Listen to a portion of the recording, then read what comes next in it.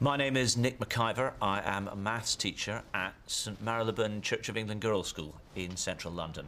Morning. My average day starts at around 8 o'clock. I arrive at the school, I go to my departmental office, say hello to colleagues, make myself a cup of coffee, dump bags. Most importantly, set up the books, resources, whiteboards, pens, compasses I need for the first two or three lessons of the day, and then head up to register my tutor group. Chloe, Dahlia. I got a 2 1 in maths from York University. I've been surprised how much of the higher level maths I draw on in lessons to 12 and 13 year olds. I sometimes will reference all kinds of obscure bits of mathematics. Sometimes I'm trying to give them a sense of, wow, is that right? So can I see you all throw the ball into the air? Can you throw it and catch it?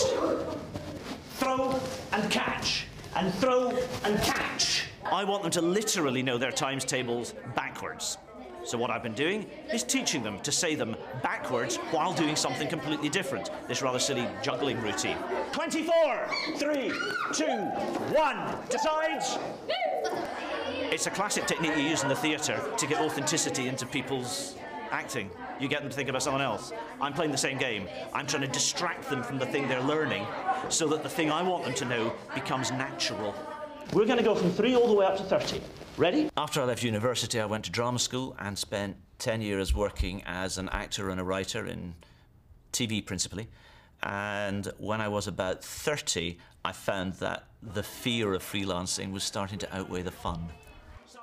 I wanted to settle down and have kids, and I finally decided to train to be a teacher because ironically, the most successful TV I'd ever written was the stuff I'd done for BBC Schools and BBC Education. It's now break, the first two lessons are done, and I've got nothing next lesson, so I've got time for a cup of coffee. In between lessons, I try and take time to speak to people. I quite like talking to colleagues. It's one of the nicest things about teaching is the people you work with.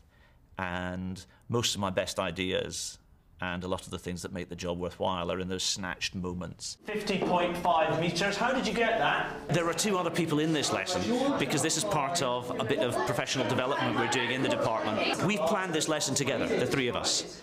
I'm now teaching it.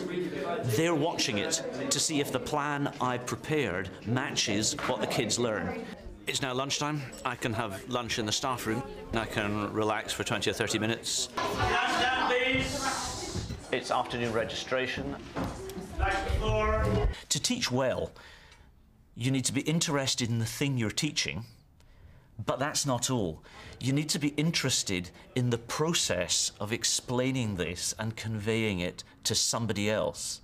Oh, that looks about right, doesn't it? A equals B, that makes sense. Yeah. Okay. And unlike in the university sector, you have to want to explain, in my case, maths to kids who don't know how great maths is.